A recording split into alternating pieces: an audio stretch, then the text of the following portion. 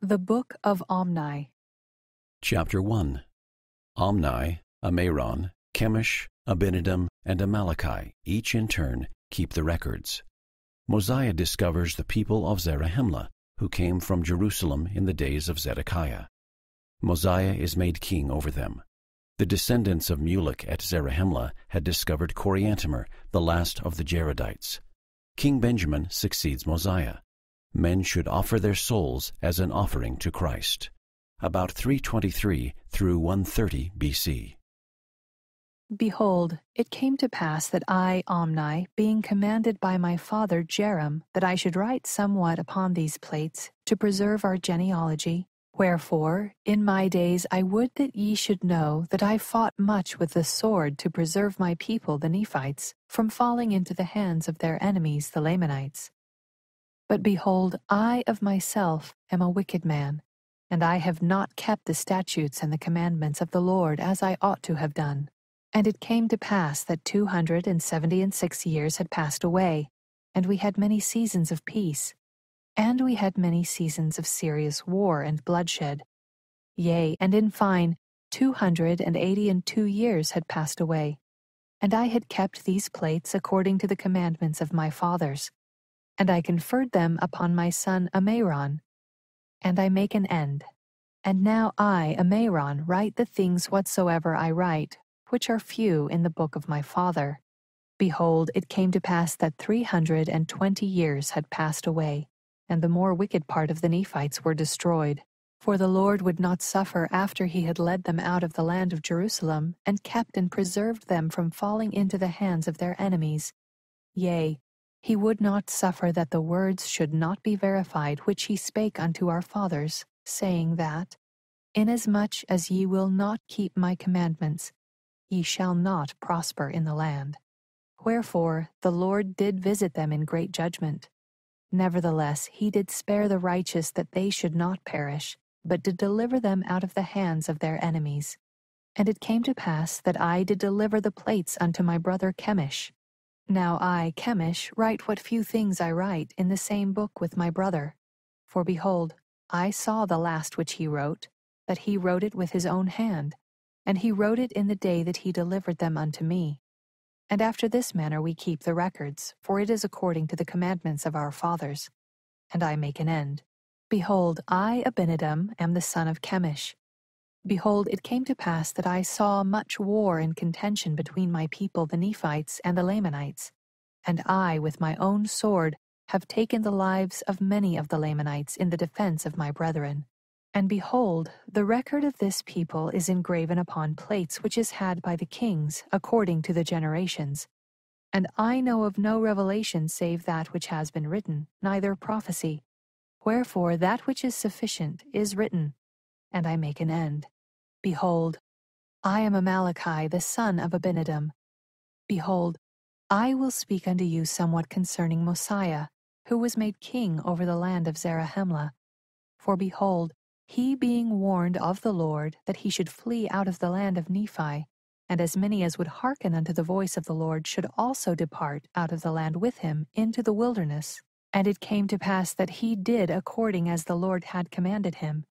And they departed out of the land into the wilderness, as many as would hearken unto the voice of the Lord.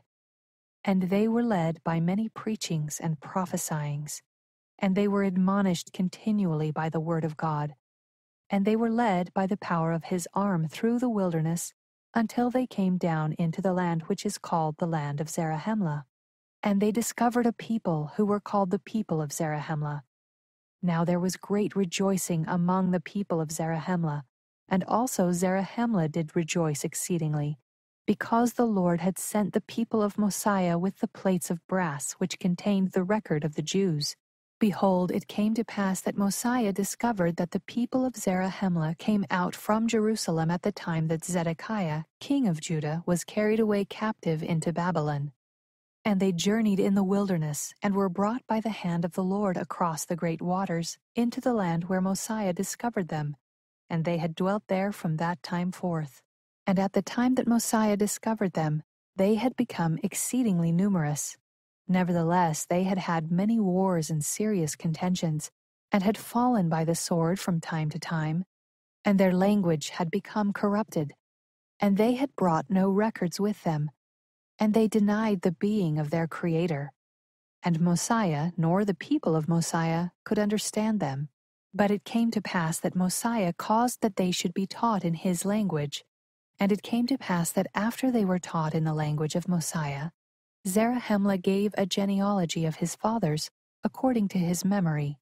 And they are written, but not in these plates. And it came to pass that the people of Zarahemla and of Mosiah did unite together, and Mosiah was appointed to be their king. And it came to pass in the days of Mosiah, there was a large stone brought unto him with engravings on it, and he did interpret the engravings by the gift and power of God. And they gave an account of one Coriantumr, and the slain of his people. And Coriantumr was discovered by the people of Zarahemla, and he dwelt with them for the space of nine moons. It also spake a few words concerning his fathers, and his first parents came out from the tower at the time the Lord confounded the language of the people. And the severity of the Lord fell upon them according to his judgments, which are just. And their bones lay scattered in the land northward. Behold, I, Amaleki, was born in the days of Mosiah, and I have lived to see his death. And Benjamin his son reigneth in his stead. And behold, I have seen in the days of King Benjamin a serious war and much bloodshed between the Nephites and the Lamanites. But behold, the Nephites did obtain much advantage over them, yea, insomuch that King Benjamin did drive them out of the land of Zarahemla. And it came to pass that I began to be old, and having no seed, and knowing King Benjamin to be a just man before the Lord, wherefore I shall deliver up these plates unto him, exhorting all men to come unto God, the Holy One of Israel, and believe in prophesying, and in revelations, and in the ministering of angels, and in the gift of speaking with tongues, and in the gift of interpreting languages, and in all things which are good. For there is nothing which is good save it comes from the Lord, and that which is evil cometh from the devil.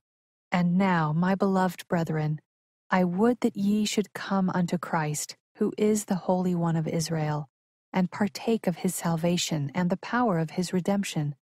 Yea, come unto him and offer your whole souls as an offering unto him, and continue in fasting and praying, and endure to the end. And as the Lord liveth, ye will be saved. And now I would speak somewhat concerning a certain number who went up into the wilderness to return to the land of Nephi for there was a large number who were desirous to possess the land of their inheritance. Wherefore they went up into the wilderness. And their leader, being a strong and mighty man, and a stiff necked man, wherefore he caused a contention among them, and they were all slain, save fifty in the wilderness. And they returned again to the land of Zarahemla. And it came to pass that they also took others to a considerable number, and took their journey again into the wilderness. And I, Amaleki, had a brother who also went with them, and I have not since known concerning them. And I am about to lie down in my grave, and these plates are full, and I make an end of my speaking.